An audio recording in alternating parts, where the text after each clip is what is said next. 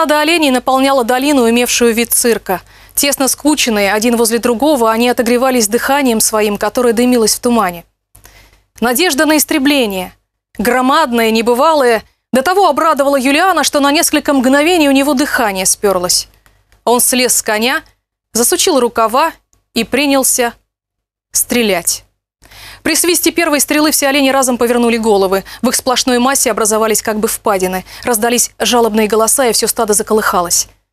Края цирка были слишком высокие и круты. Олени не могли их перескочить. Они метались по дну долины, ища спасения. Юлиан целился, стрелял, целился снова. Стрелы сыпались, как дождь. Олени, обезумев, дрались, легались, карабкались друг на друга, и тела их со спутанными рогами воздвигались широким холмом, который то и дело обрушивался, передвигался. Наконец, сваленный на песок, с пеной у ноздрей, с вылезшими кишками, они испустили дыхание, и волнообразное колыхание их боков и черев, постепенно ослабевая, затихло. Затем все стало неподвижно. Наступала ночь и за лесом сквозь разрезы ветвей виднелось небо, красное, как кровавая пелена. Юлиан прислонился к дереву. Выпуча глаза, смотрел он на необъятную бойню, не постигая, как это мог один совершить. Но вдруг на другой стороне долины показались олень, лань и с ними их детеныш, теленок. Олень был весь черный, огромного росту, с шестнадцатью отростками на рогах и белой бородой – Лань бледно-желтая, цвету осеннего листа щипала траву, а пятнистый детеныш, не останавливая ее на ходу, сосал ее вымя.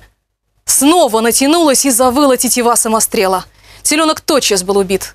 Тогда мать, подняв глаза к небу, затасковала громким, раздирающим человеческим голосом. Юлиан в бешенстве выстрелом прямо в грудь повалил ее на землю. Старый олень все это видел и прыгнул к нему навстречу.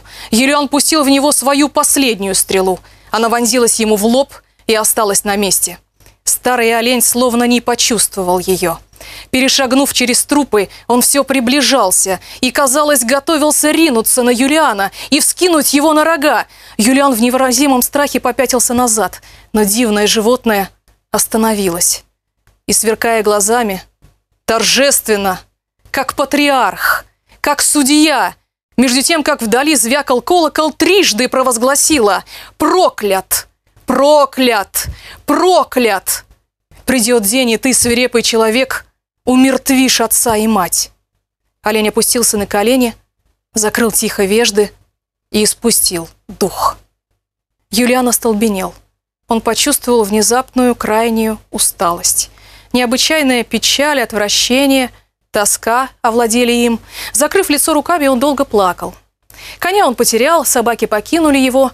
Пустыня, окружавшая его, казалось, угрожала ему несказанными бедами. Объятый страхом, он побежал через поле по первой попавшейся ему тропинке и почти немедленно очутился у ворот своего замка. Всю ночь он не спал.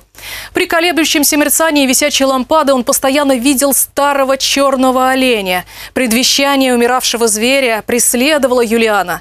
Он всячески пытался отогнать эту мысль. «Нет, нет, нет, я не могу их убить!» А потом он думал, если б захотел, однако. И он боялся, что дьявол введет его в искушение и внушит ему нечестивое желание. Целых три месяца мать его в глубокой скорби молилась у изголовья его постели.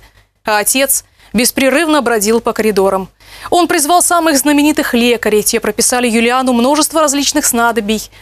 Недуг Юлиана, говорили они, причинился ему либо от зловредного ветра, либо от любовного желания.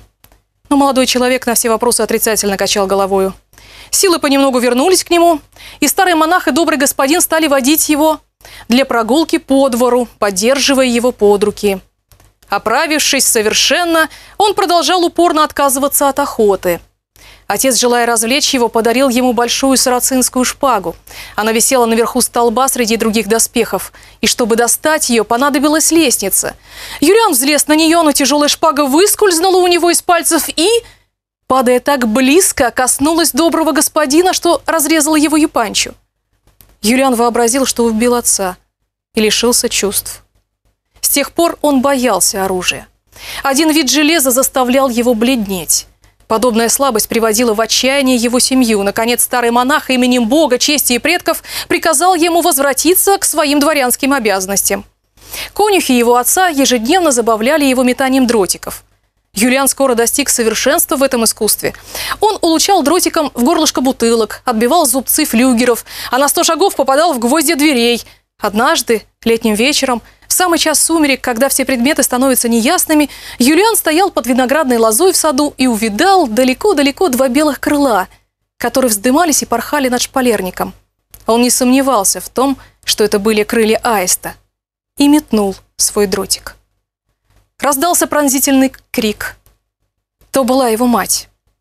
Длинные концы ее шлыка были пригвождены к стене. Юлиан убежал из замка и более уже не возвращался. Иван Сергеевич Тургенев – русский писатель, продолживший начатый еще предшественниками диалог культур в середине второй половине XIX века. Он автор статей, предисловий, рецензий на переводы, создатель собственных переводов на русский, французский, немецкий, английский языки. Переводческое наследие Тургенева обширно и многообразно. Тургеневские переводы Густава Флабера, в частности, его легенды о святом Юлиане Милостивом, впервые опубликованный в 1877 году в Вестнике Европы, занимают особое место в творчестве русского романиста, поскольку с французским писателем Ивана Сергеевича связывали крепкие дружеские отношения. Их дружба длиной в 17 лет началась в день знакомства в феврале 1863 года. Флабера и Тургенева сближали их взгляды на искусство, поэзию, на жизнь и творчество творчества. У них были схожие вкусы и жизненные ценности. Оба широко образованные, восторженные поклонники искусства, они находили между собой множество точек соприкосновения. Переводческая работа Тургенева над легендами Флабера открыла для русского читателя замечательного французского автора, столь близкого Тургеневу по духу и творчеству.